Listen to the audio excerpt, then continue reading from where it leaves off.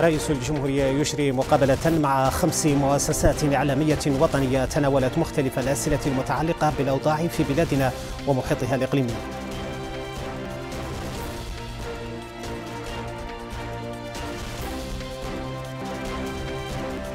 وزير الصيد والاقتصاد البحري يشرف من مقاطعة مال على تخرج الدفعة الثالثة في مجال الصيد القاري ضمن المقاربات التنموية لاستغلال المياه السطحية ببلادنا.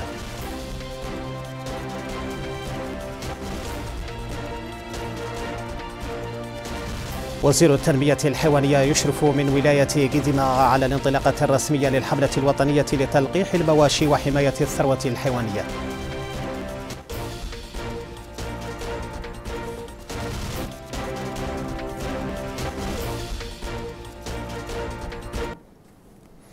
أسعد الله مقيلكم بكل خير. أهلا بكم إلى تفاصيل الواحدة من قناة الموريتانية. أجرى رئيس الجمهورية سيد محمد ولي الشيخ الغسواني مساء أمس مقابلة مشتركة مع خمس مؤسسات إعلامية وطنية أجاب خلالها على مختلف الأسئلة التي تم طرحها من قبل الإعلاميين المشاركين في هذه المقابلة. وقد تمت المقابلة باللغة العربية مع وكالة الأخبار المستقلة والصحراء والصحراء ميديا وباللغة الفرنسية مع مؤسستي كريديم وليونا فتر وقد غطت أسئلة المؤسسات الصحفية مجالات مختلفة حول الأوضاع في موريتانيا ومحيطها الإقليمي.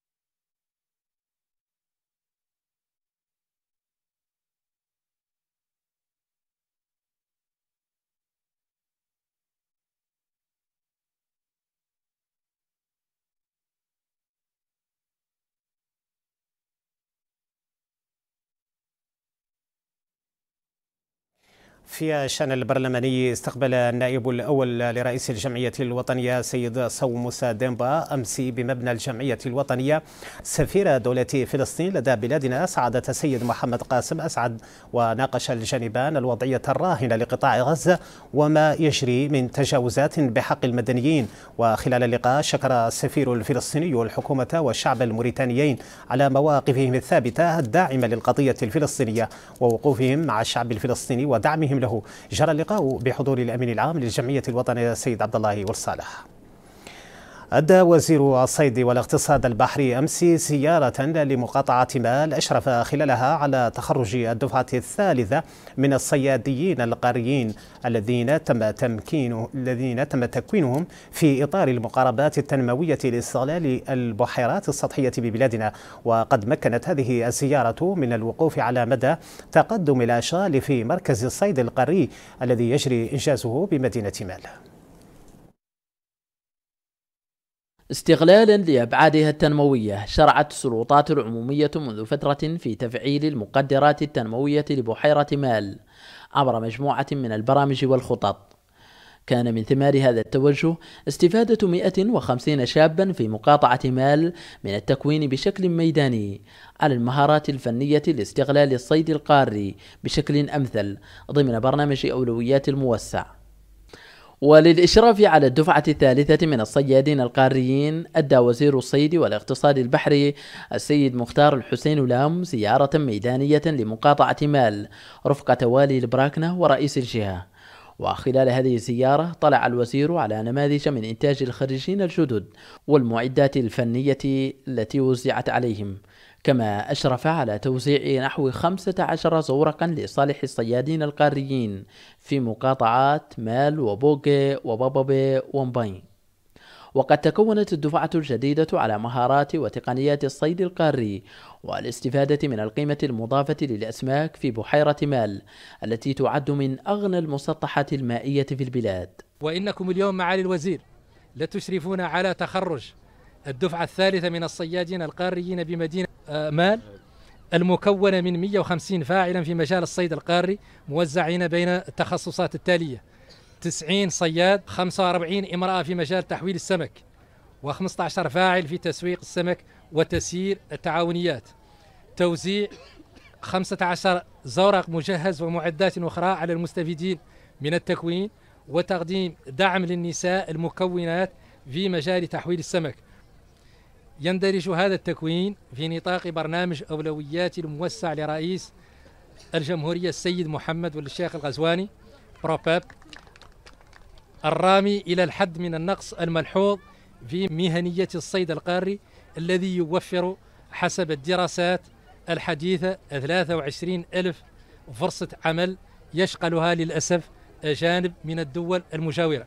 وسيمكن استغلال المقدرات التي تتوفر عليها البحيرة من الاستفادة المباشرة للخريجين معالي الوزير باسم ساكنة البراكنة أشكركم ومن خلالكم حكومة معالي الوزير الأول على ما تبذلونه في مجال النهوض بهذا البلد تنفيذا للتوجيهات وتطبيقا لبرنامج فخامة رئيس الجمهورية السيد محمد بن الشيخ الذي صممه من أجل المواطن بشكل عام مع العناية الخاصة بالطبقات المحتاجة والضعيفة. عمدة بلدية مال ثمن الخطط التي اعتمدها قطاع الصيد في تنمية بحيرة مال حيث مكنت أبناء المقاطعة من التكوين على المهن التي تساعدهم على الرفع من إنتاجهم المحلي. وقد وزعت شهادات تكريم على الخريجين إضافة إلى مبالغ تحفيزية تساعد السيدات على الاندماج في سوق العمل. كما زار الوفد مركزا للصيد القاري وتربية الأحياء المائية يجري إنجازه حيث بلغت نسبة الأعمال فيه 60% محمد بن قناة الموريتانية مقاطعة مال. إلى ولاية جيديماغا حيث أشرف وزير التنمية الحيوانية رفقة السلطات الإدارية والأمنية بالولاية صباح أمس من ضواحي مدينة سيليبابي على الانطلاقة الرسمية للحملة الوطنية لتحصين المواشي. تهدف هذه الحملة إلى تلقيح المواشي وحماية الثروة الحيوانية من الأمراض التي تشكل خطرا عليها. من ضواحي بلدية سيلي بابي يشرف وزير التنمية الحيوانية السيد أحمد ديت ولشين صحبة والي جيديمغا والسلطات الإدارية والأمنية على إطلاق الحملة الوطنية لتحصين المواشي للعام 2023-2024 فعاليات الافتتاح تميزت بمشاركة العديد من المنمين وممثلي الروابط الرعوية والزراعية. وزير التنمية الحيوانية تحدث خلال حفل انطلاق الحملة عن دور قطاع التنمية الحيوانية في النهوض بالإقتصاد الوطني. ترمي هذه الحملة إلى تحصين 11 مليون رأس من الأغنام ضد طاعون المجترات الصغيرة المعروف محليا ببود ميعة ومليونين وأربعمائة ألف رأس من الأبقار ضد مرض ذات الرئة والجنب الساري بوغلاي. إضافة إلى أمراض أخرى تظهر في بعض الأحيان مثل بوغي وبو مرارة والجدري إلى غيره. السيد الوالي السادة الحضور تشكل الثروة الحيوانية ركيزة هامة في الاقتصاد الوطني حيث تمثل 10% من الناتج المحلي الإجمالي وتساهم بنحو 65% في القطاع الريفي كما تستقطب ما يزيد على 11 من العمالة الوطنية و60% من العمالة الريفية وتلعب دورا محوريا في تحقيق الأمن الغذائي خاصة فيما يتعلق بمادة اللحوم الحمراء. السيد الوالي السادة الحضور. نظرا للاهتمام الذي يوليه فخامة رئيس الجمهورية السيد محمد بن الشيخ الغزواني لقطاع التنمية الحيوانية وفي إطار التزامه بمضاعفة مخصصات الصحة الحيوانية فإن قطاعنا سيسخر لهذه الحملة 72 فرقة بيطرية مكتملة التجهيز من أجل تكثيف وتعميم التغطية الصحية. وينتظر أن تجوب هذه الفرق مختلف المناطق الرعوية. المنتخبون المحليون بدورهم تحدثوا عن أهمية الانخراط والمشاركة الواسعة في حملة تحصين المواشي مشيدين بالإهتمام الذي يحظى به قطاع الثروة الحيوانية في البرامج والمشاريع الحكومية. بدورهم تحدث ممثل الروابط الرعوية والزراعية عن أهمية هذه الحملة التي ستستمر خلال الأشهر القادمة لتحصين أكبر عدد ممكن من الماشية على المستوى الوطني. ميدانيا اطلع الوزير صحبة السلطات الإدارية على الإجراءات المتخذة لتسهيل عمليات تلقيح المواشي حيث تلقى شروحا توضيحية عن طبيعة اللقاحات وعمل الفرق البيطرية المكلفة بهذه العملية ليعطي الوزير إشارات انطلاق الحملة الوطنية لتحصين المواشي من الأمراض والفيروسات الفتاكة. كما أشرف الوزير على تسليم مفاتيح ثمان سيارات ذات دفع رباعي لصالح مندوبيات التنمية الحيوانية في ثمان ولايات من الوطن وذلك ضمن شراكة القطاع بالمشروع الجهوي لدعم النظام الرعوي في الساحل برابس اثنين. ويتدخل هذا البرنامج في عديد الولايات الرعوية بهدف دعم المنمين وزيادة المردودية الإنتاجية لقطاع التنمية الحيوانية. وفي بلدية قري وقف الوزير صحبة السلطات الإدارية على عمل الفرق الميدانية في مزرعة تحسين السلالات واطلع ميدانيا على جاهزية هذه الفرق وطبيعة الإجراءات المتخذة ضمانا لولوج المنمين إلى هذه الخدمات الصحية. وتحييد خطر أنواع مختلفة من الأمراض والفيروسات التي تهدد قطاع الثروة الحيوانية في بلادنا. شوقي محمد فال لقناة الموريتانية مدينة سيليبابي تفقد وزير الإسكان والعمران والاستصلاح الترابي رفقة والي أدرار بعض المنشآت الخدمية التي يجري تنفيذها في مقاطعة أوجفت. وطلع الوزير على مستوى تقدم الأشغال في مدرسة قرية المالح وبعض المرافق في تجمع تنومند إضافة إلى مشروع بناء محكمة في مدينة أوجفت. متابعة لسير الأشغال في ورش البنية التعليمية وبعض المرافق الخدمية وزير الإسكان والعمران والاستصلاح الترابي السيد سيد أحمد والمحمد رفقة والي أدرار السيد عبد الله والمحمد محمود. يتفقد المدرسة الابتدائية بقرية المالح التابعة لبلدية ترجنت في مقاطعة أوجفت. المدرسة تتكون من طابقين وتضم ستة فصول إضافة إلى ملحقات وقد انتهت الأشغال فيها. وقد بنيت على نفقة ميزانية وزارة الإسكان بغلاف مالي ناهز 54 مليون أوقية قديمة.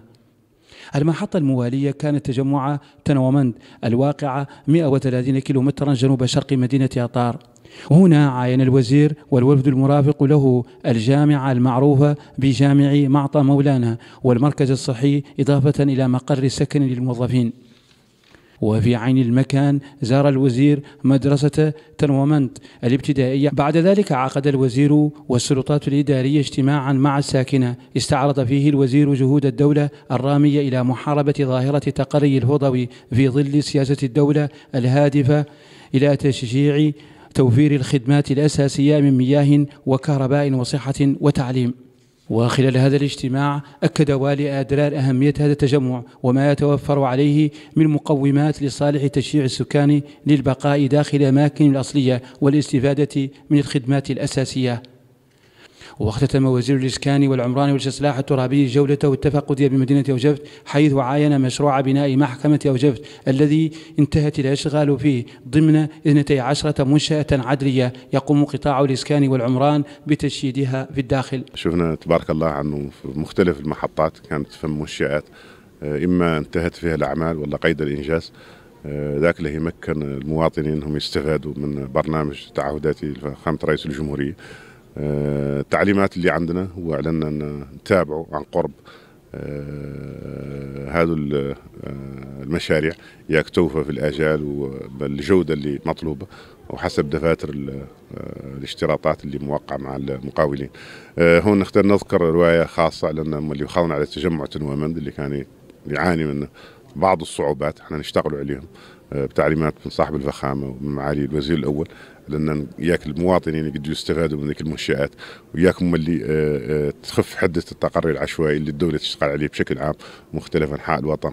هون نختار نأكد للمواطنين حرص فخامة رئيس الجمهورية على متابعتنا الشخصية لهذه المشاريع لأنهم اللي يريد منهم لا استفادة المواطنين. سكان المناطق المزورة عبروا عن أهمية هذه الإنجازات التي تحققت في مجال البنية التحتية والمرافق الأساسية. هذو منشآت الساكنه كانت بحاجه لهم وولايه تعطيهم دفع جديد على على على على بقاء في أماكنهم الأصلية وإحنا مثمنين هذا الجهد وشاكرين رئيس الجمهورية على اللفته الكريمة. نشكر حكومة رئيس الجمهورية محمد ولي القزواني على الإنجاز اللي اللي اللي عدلت في قرية المالح التابعه لبلديه تمتيرقن تمثل بإنشاء مدرسة مكتملة الفصول نائية من ولاية هادراء زيارة تفقد واطلاع مكنت من الوقوف ميدانيا على تقدم الإشغال في بعض المشاريع ذات الأولوية على مستوى ولاية أدرار. الفاقة للشيباني قناة الموريتانية مدينة أوجفت. وهنا بنواكشوط أشرف وزير التجهيز والنقل وزير الإسكان والعمران والاستصلاح الترابي وكالة صباح أمس على فعاليات الدورة العادية العامة الثامنة لتعاضدية ترقية المؤسسات الصغيرة والمتوسطة. وقد تم خلال هذه الدورة نقاش تقرير نشاط المكتب التنفيذي والمصادقة على اقتراحاته وانتخاب هيئات التعاضدية مثل المكتب التنفيذي ولجنة الحكماء واللجنة المالية. معا من أجل خلق فرص عمل لائقة. تحت هذا الشعار عقدت تعاضدية ترقية المؤسسات الصغيرة والمتوسطة جمعيتها العامة العادية الثامنة. خصص هذا اللقاء لنقاش ما تم إنجازه في المأمورية المنصرمة وما سيتم تنفيذه في المستقبل حسب أهداف التعاضدية. وزير التجهيز والنقل وزير الإسكان والعمران والاستصلاح الترابي وكالة بين في كلمته الافتتاحية لهذه الدورة أن السلطات العليا تولي عناية خاصة لترقية القطاع الخاص في البلاد. لا تخفى عليكم الأهمية الكبرى التي توليها السلطات العمومية بتوجيه سام من صاحب الفخامة رئيس الجمهورية السيد محمد الشيخ الغزواني لترقية القطاع الخاص ببلادنا وإشراكه الفعلي في كل الجهود التنموية وذلك عبر تأسيس البنى المؤسسية الحديثة من مجالس الاستثمار والأعمال ومراجعة الأطر القانونية المحفزة للاستثمار والمذمنة للمقاولة الوطنية وإرساء روح التشاور الدائم مع الفاعلين الاقتصاديين. رئيس تعاضدية ترقية المؤسسات الصغيرة والمتوسطة أبرز أن التعاضدية عملت منذ إنشائها على خلق فرص عمل واعدة أسهمت في تعزيز الدورة الاقتصادية الوطنية. وقد كانت التعاضدية أداة لتحقيق أحلام هذه الفئة من المواطنين وعنصرا مهما في تعزيز فرص النمو الاقتصادي في بلادنا وذلك بالرغم من الصعوبات والتحديات الجمة التي واجهتها على أكثر من صعيد خصوصا في مراحل انطلاقها الأول. كما استمرت في التراكم والتفاقم في المراحل التالية دون حلول تذكر لكن الأمل بدأ يحدنا مجددا في السنوات الأخيرة. مع تطبيق برنامج فخامة رئيس الجمهورية السيد محمد الشيخ القزواني والمقاربات التي انتهجتها حكومة معالي الوزير الأول السيد محمد بلال مسعود. لبلوغ أهداف هذا البرنامج في مجالات الشفافية والمنافسة الحرة والإصلاح الإداري والقضاء والحكام الرشيدة وتحديث المنظومة التشريعية. وسيناقش المشاركون في هذه الدورة أهم القضايا والآليات المناسبة من أجل تحقيق الأهداف التي رسمتها التعاضدية المتمثلة في ترقية المؤسسات الصغيرة والمتوسطة وتوفير جو ملائم للتنافس الإيجابي خدمة للوطن وتطويرا لنموه الاقتصادي. يعقوب اللصوفي الموريتانيا إلى ولاية العصابة حيث أطلق المندوب العام للتضامن الوطني ومكافحة الإقصاء تآزر زوال أمس من مقاطعة بومديد عددا من المشاريع التنموية التي يتم إنجازها في المقاطعة. وبهذه المناسبة تفقد المندوب العام لتآزر سير الأشغال في عدد من المنشآت الهادفة إلى تسهيل ولوج السكان إلى الخدمات الأساسية بالمنطقة.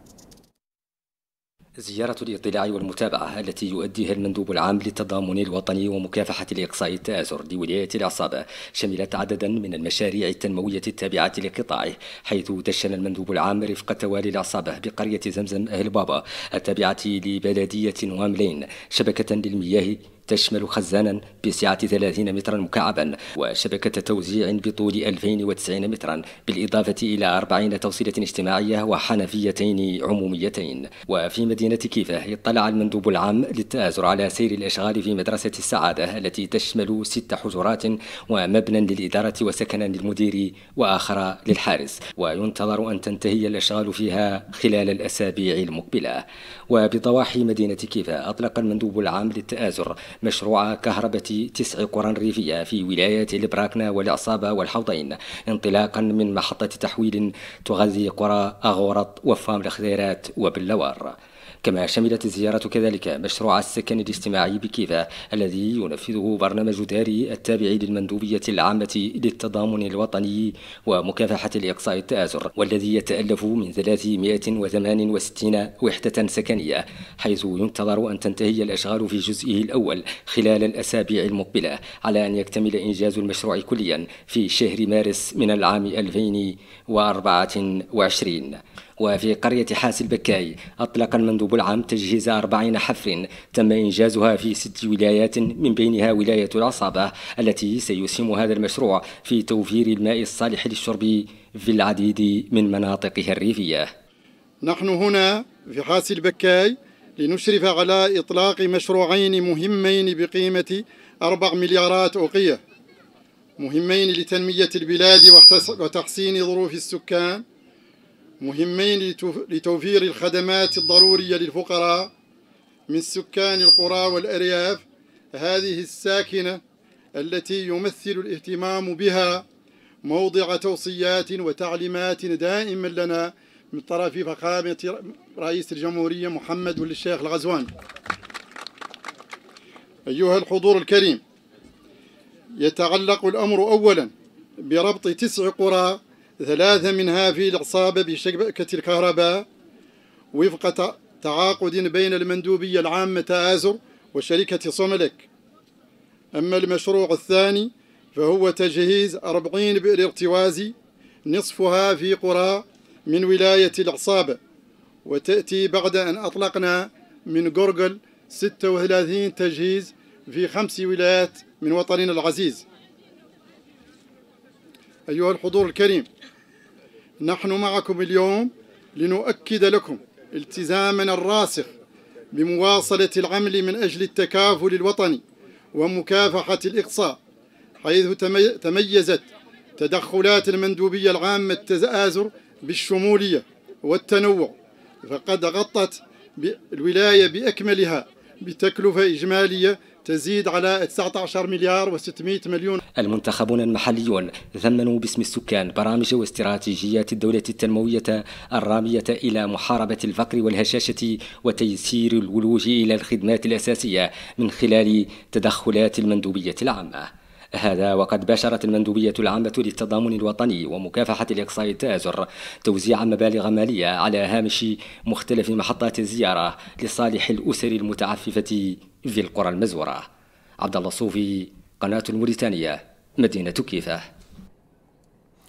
نظمت وزارة العدل صباح أمس في نواكشوط ملتقى تكوينيا حول النزاعات العقارية لصالح القضاة العاملين في المحاكم المدنية والإدارية وسيتابع المشاركون في هذا الملتقى الثالث من نوعه عروضا ومحاضرات حول مفهوم الدعوة العقارية وأنواع النزاعات المتعلقة بها. هي الانطلاقة الفعلية للجزء الثاني من الملتقى التكويني الثالث لصالح القضاة العاملين بالمحاكم المدنية والإدارية. ينظم من قبل قطاع العدل وقد اختير له أن يناقش واقع النزاعات العقارية. تعتبر المؤسسة القضائية دعامة أساسية لدولة القانون ومرتكزا رئيسيا لتعزيز مصداقيتها وذلك لما لها من دور في حماية حرية وأمن المواطنين وصيانة ممتلكاتهم وخلق المناخ الملائم للسلم المدني والاستقرار الاجتماعي والسياسي. وهكذا عملت وزارة العدل وستظل تعمل على تعزيز قدرات مصادره البشرية من قضاة وكتاب ضبط وتسليحهم بالمعارف اللازمة لمواكبة الإصلاح القانوني والقضائي من خلال التكوين المستمر حيث عملت على تنفيذ خطة شاملة للتكوين للمرة الثالثة. تم إنجازها بفضل استحداث بند خاص في ميزانية الاستثمار وبفضل التعاون البناء مع شركائنا في التنمية. مواكبة لتنفيذ خطة القطاع المتعلقة بتعزيز قدرات المصادر البشرية تهدف هذه الدورة فضلا عن تعزيز قدرات الفاعلين في القطاع إلى تدارك ما لم يعرض من مواضيع تتعلق بتحديد الصعوبات التي تعترض تحديد تطبيق القوانين المتعلقة بالنزاعات العقارية. الملتقى يناقش موضوع النزاعات العقارية من خلال مفهوم الدعوة العقارية وأنواعها دعوى الحيازة دعوى الاستحقاق ونزع الملكية للمصلحة العامة والنزاعات العقارية في ضوء اجتهادات المحكمة العليا. انطلقت صباح أمس في نواكشوط أعمال ورشة المصادقة الفنية على نظم على نظم تشغيل المؤسسات الصحية العمومية والخصوصية تهدف هذه الورشة إلى تعميق النقاش بين الخبراء في المجال الصحي للخروج بنتائج من شأنها رفع أداء المرافق الصحية الوطنية. تجسيدا للسياسة الوطنية الهادفة إلى تقديم الخدمات الصحية للمواطنين. وفق نظم تستجيب لتطلعاتهم يأتي تنظيم هذه الورشة الخاصة بالمصادقة الفنية على نظم تشغيل المؤسسات الصحية العمومية والخصوصية بحضور شركاء بلادنا في التنمية. ورشة سمحت باستعراض الاستراتيجية الوطنية لبلادنا في المجال الصحي. تسير بلادنا بخطوات مطمئنة اتجاه تحقيق التغطية الصحية الشاملة بحلول عام 2030 حيث تكفل برنامج أولوياتي لفخامة رئيس الجمهورية على مستوى الصحة بعديد الخدمات المجانية والشبه المجانية كتخفيض التكلفة الجزافية لنساء الحوامل إلى حوالي 400 وقية جديدة تغطي كافة الاستشارات والعلاجات التي تتطلبها وضعيات المنتسبات من هذه الفئة بالإضافة إلى مجانية الإنعاش ومجانية النقل الطبي ومجانية نقل ضحايا حوادث السير ومجانية تدخلات برنامج العون الطبي الاستعجالي الذي يتكفل بالحالات الطبية الحرجة المرتبطة بالوقت. بدوره تحدث ممثل بعثة الاتحاد الأوروبي في بلادنا السيد جان مارك عن محورية المنظومة الصحية في برامج الاتحاد الأوروبي وما يجعل من دعم مشروع الدعم الصحي منذ 2017 أحد أهم ثمار الشراكة بين بلادنا والاتحاد الأوروبي ذلك من أجل تمكين القطاع الصحي من تقديم خدماته على أحسن وجه. المشاركون في هذه الورشة سيتوزعون على مجموعات عمل تناقش وتدرس على مدى ثلاثة أيام مختلف النظم والقوانين التي ستسهم في الرفع من أداء المرافق الصحية العمومية والخصوصية. نظم البرنامج الوطني للتطوع وطننا أمس في نواكشوط ورشة تكوينية حول توقيع عقود وابتعاث 45 متطوعا عقدويا بالتعاون مع وزارة الثقافة والشباب والرياضة. تهدف هذه الورشة إلى دعم المنشآت الشبابية والرياضية من خلال تزويدها بالمصادر البشرية الشبابية لإضفاء المزيد من الحيوية والنشاط. البرنامج الوطني للتطوع وطننا التابع لوزارة الثقافة والشباب والرياضة والعلاقات مع البرلمان. يطلق ورشة لتوقيع عقود وابتعاث 45 عقدويا. هم دفعة المرحوم عبد الله واللمود حيث ينتظر أن تفتح آفاقا واعدة أمام الشباب للانخراط في سلك المتطوعين خدمة للوطن وسبيلا إلى تحقيق التنمية. إننا نشرف اليوم من خلال هذه الورشة على الاكتتاب الثاني من نوعه في غضون شهرين وهو الاكتتاب الذي تستفيد منه 45 شابا متطوعا يمثلون كافة ولايات الوطن. ويهدف هذا التكوين والاكتتاب إلى دعم المنشآت الشبابية والرياضية من ملاعب ودور شباب وذلك من خلال تزويدها بالمصادر البشرية الشبابية الضروري لإضفاء المزيد من الحيوية والنشاط عليها. إن هذا المشروع يأتي تجسيدا لتعهدات فخامة رئيس الجمهورية السيد محمد الشيخ الغزوان الرامية إلى ترقية ومأسسة العمل التطوعي ومنح الشباب كل الفرص اللازمة لتأهيلهم للمنافسة على الوظائف وتمكينهم من خدمة الوطن في ظروف مثالية وفقا للرؤية المستنيرة التي تسهر حكومة معالي الوزير الأول محمد بلال مسعود على تطبيقها. ويسعى مشروع وطننا إلى ترقية العمل التطوعي ومنح الشباب الفرصة للمنافسة بكل شفافية لاقتناص فرص الولوج إلى العمل وتمكين الشباب المتطوع من خدمة بلده في أحسن الظروف. لقد عملنا في البرنامج الوطني للتطوع وطننا مع شركائنا بالوزارة الإدارة العامة للشباب والإدارة العامة للرياضة وإدارة التكوين والإدارات الجهوية على مدى عدة أشهر على أن يلبي هذا الاكتتاب الحاجة الملحة للغالبية العظمى من المنشآت الشبابية والرياضية من حيث الكادر البشري الشبابي وذلك من خلال التخصصات التالية. منعش سوسيو تربوي 16 مهمة تطوعية. مؤطر رياضي 15 مهمة تطوعية. مراقب ملاعب تسع مهمات تطوعية. مراقب دار شباب خمس مهام تطوعية. أي ما مجموعه 45 مهمة تطوعية. وتابع الحضور فيلما قصيرا عن مسيرة قائد العمل التطوعي الكشافة الموريتانية في بلادنا المرحوم عبد الله واللمود استعراضا لما يتحلى به من أخلاق ووعي واندفاع نحو الأعمال التطوعية التي خدم بها البلاد طوال العقود الماضية. وشهدت هذه الاحتفالية تكريم المرحوم عبد الله واللمود تقديرا لمسيرته النيرة في مجال العمل التطوعي وخدمة الشباب الموريتاني. إلى ولاية داخل تنواذيب حيث توج فريق ولاية العصابة ببطولة الولايات للرماية التقليدية التي احتضنتها الولاية في نسختها الحالية. وقد تميزت هذه النسخة التي استمرت خمسة أيام بمشاركة فرق للرماية من مختلف ولايات الوطن.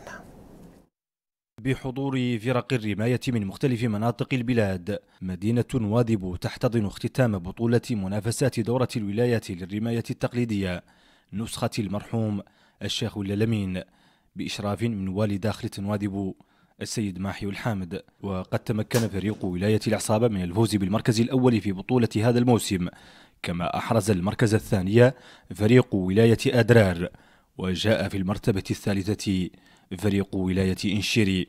والي الولاية في كلمة بالمناسبة عبر عن ارتياحه للجو الإيجابي الذي طبع أيام المنافسة. وما تحلت به كافة الفرق من مسؤولية وانضباط.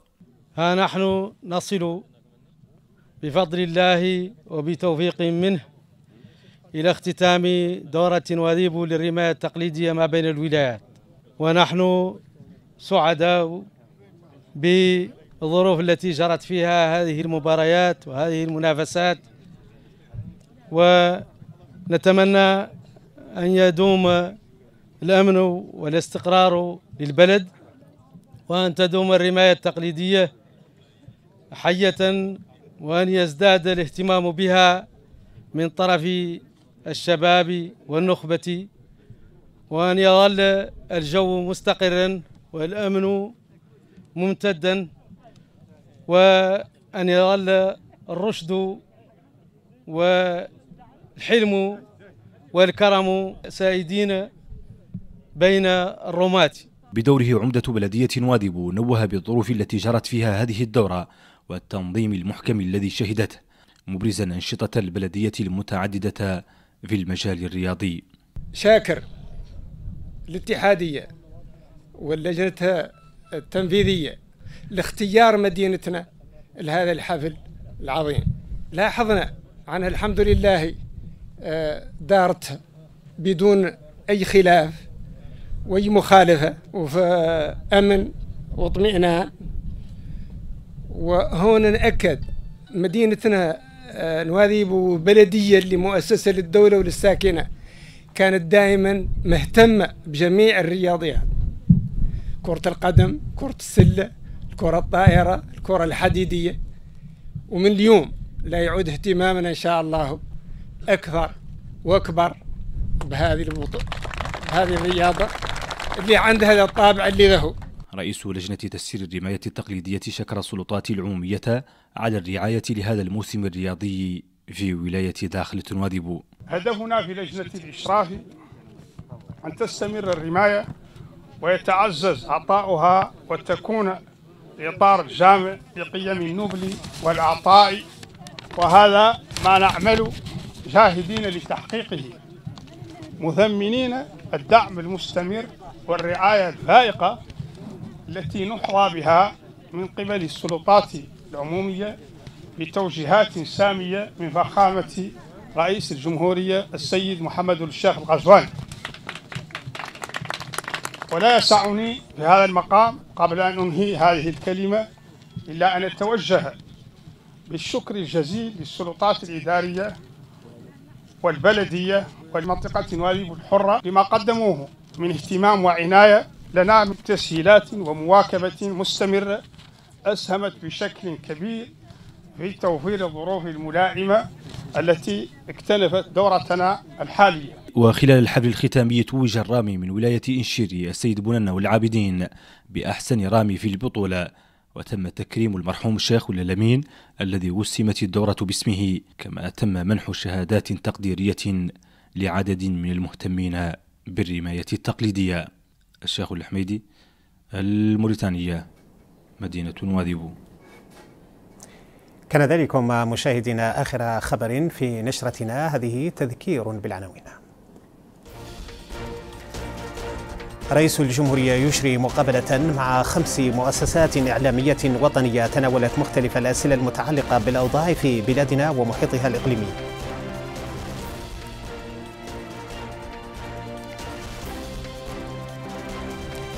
وزير الصيد والاقتصاد البحري يشرف من مقاطعة مال على تخرج الدفعة الثالثة في مجال الصيد القاري ضمن المقاربات التنموية لاستغلال المياه السطحية ببلادنا.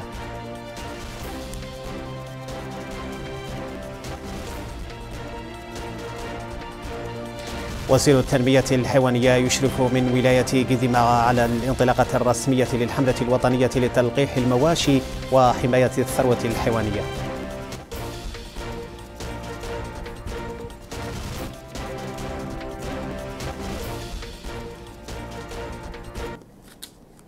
شكرا لكم على حسن الإصغاء والمتابعة في أمان الله.